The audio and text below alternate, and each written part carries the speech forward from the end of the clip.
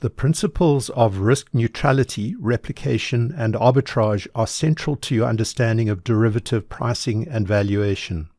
Replication refers to the creation of the exact equivalent of one financial instrument through the combination of two or more different financial instruments.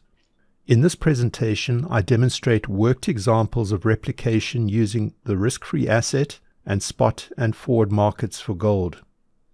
There are six possible replications given these three financial instruments.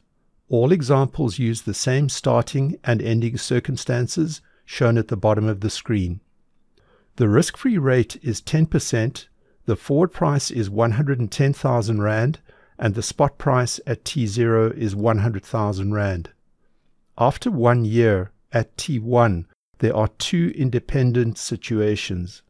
Either the spot price is 90,000 Rand, as in case A, or it is 140,000 Rand, as in case B. There are two different ending situations so as to illustrate clearly in each case that the replication is a success.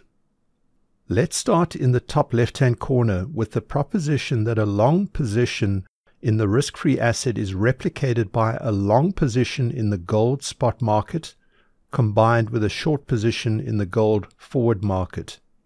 Notice that there is, of course, an implied positive, in other words, a silent plus sign for the R and the S in this replication equation.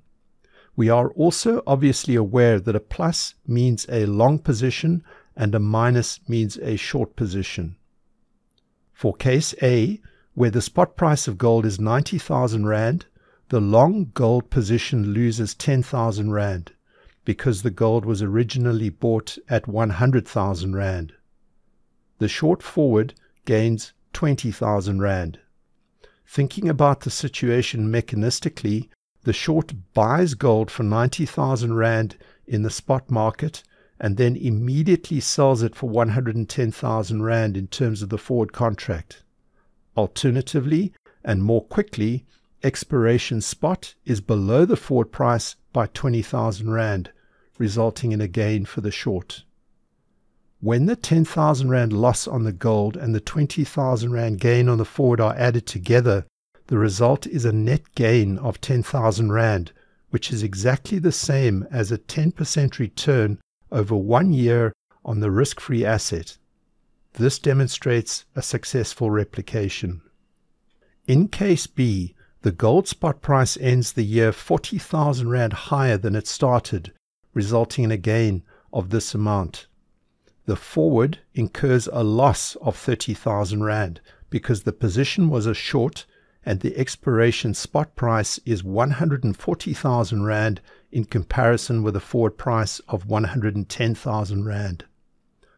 Note that, even with very different conditions after one year, the outcome in cases A and B is exactly the same, an accurate replication of a long position in the risk-free asset. In the bottom left-hand corner, all signs are reversed to show that a short position in the risk-free asset, which is exactly the same thing as borrowing at the risk-free rate, is replicated by a short position in the spot market, which is also called a short sale, and a long position in the forward market. In case A, the short sale of gold generates a profit of 10,000 Rand. This occurs because the gold is borrowed at T0 and sold on that date for 100,000 Rand and then bought back at the end of the year for only 90,000 Rand in order to return it to the gold lender. The forward loses because it is a long and the expiration spot price is 20,000 Rand lower than the forward price.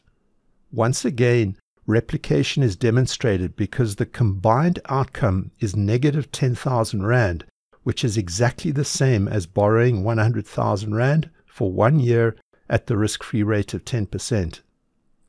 Case B shows that the outcome is exactly the same if gold increases its price instead to 140,000 Rand. In the middle column, a forward contract is replicated by combining positions in the spot market and the risk free asset. For the upper central example, a long forward is created when a long gold holding is funded by borrowing at the risk free rate.